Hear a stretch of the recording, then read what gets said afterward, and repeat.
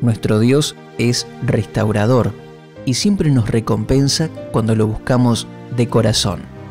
El Señor no solo nos restaurará los recursos mal invertidos, sino que nos dará mucho más que eso.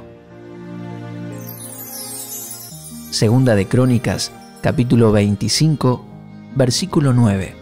Dice, pero Amasías le dijo al hombre de Dios, ¿y qué va a pasar con los 3.300 kilos de plata que le he pagado al ejército israelita? Y el hombre de Dios respondió, el Señor puede dar a su majestad mucho más que eso. Amasías era un rey de Judá que contaba con un gran ejército, pero para enfrentar a un enemigo decidió contratar otros soldados que Dios no aprobaba respaldar. Fue advertido por un varón de Dios que no enviara ese otro ejército por el cual había invertido mucho. Amasías le preguntó qué pasaría con su mala inversión, y el varón de Dios le respondió, Dios puede darte mucho más que eso. El Señor no tiene en cuenta el tamaño de nuestras malas decisiones, ni el esfuerzo que hayamos mal invertido, o las cosas en las que pusimos esperanza y no dieron resultado.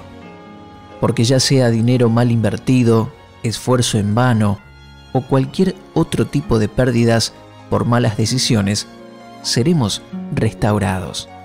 El Señor nos llama a confiar y obedecer primero a Él. Pero llega el tiempo donde no solo te restaurará lo perdido, sino que te dará también mucho más que eso. Oremos así. Dios Padre, proclamo que te obedeceré y confiaré en ti antes que en cualquier otro recurso. Declaro que se me restaura todo lo perdido y recibo de tu mano mucho más que todo lo mal invertido. En el nombre de Jesús. Amén. Gracias por compartir este tiempo con nosotros.